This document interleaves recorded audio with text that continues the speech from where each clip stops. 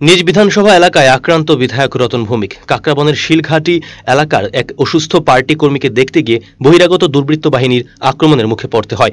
বিধায়কের গাড়ির চাবি ছিনিয়ে নিয়ে গিয়ে ব্যাপক ভাঙচুর করা হয় গাড়িটি। স্থানীয় বাসিন্দা, মহিলা, পুরুষ নির্বিশেষে বিধায়ককে শারীরিক আক্রমণ থেকে রুখতে দুর্বৃত্তদের পথ আটকায়। বাইক বাহিনী চূড়ান্ত উশৃঙ্খলতা চালায় শিলঘাটি বাজারে। নিজ বিধানসভা এলাকায় বিধায়ক যেতে পারবে না, এ কেমন গণতন্ত্র?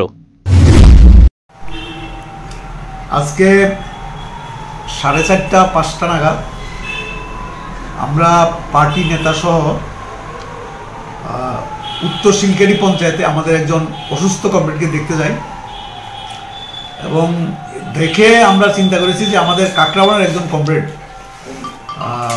সুভাষ কর্মকার আইএসএ মানে তাকে বাড়িতেও নেবে, সেটাও দেখে আসবে।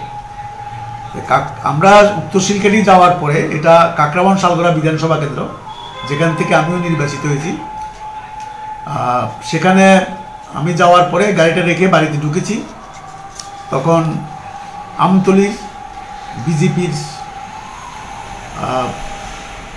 লোক, তাদের নেতা মফিজ মিয়া, তার নেতৃত্বে সেখানে গাড়ির সামনে গিয়ে চিৎকার হইয়াল্লা শুরু করে, কেন ওই এমএলএ এখানে এসছে? আসতে পারবে না এইসব গাড়িগুলো এবং আমার ব্যবহৃত যে গাড়িটা, ড্রাইভার থেকে জোর করে চাবি নিয়ে যায়। এবং গাড়িটা ভাঙচুর করে।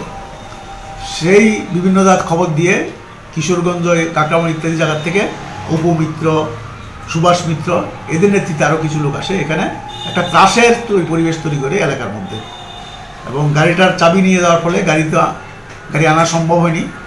ড্রাইভার তারাও সেখানে ছিল। গাড়ি এখনও সেখানে আছে। পুলিশ গেছে, পুলিশ চাবি আনতে পারেনি। এবং তারা আক্রমণের চেষ্টা করেছে। যদিও এলাকার মহিলা পুরুষ এরা সামনে ছিল সেই জন্য আক্রমণ করতে পারেনি।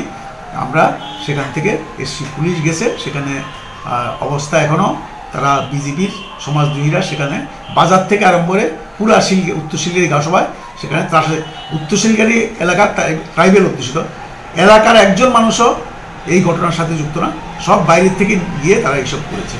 ওই এটা একটা নির্বাচিত প্রতি তারা এলাকায় যেতে পারবে না। Bureau report search India TNN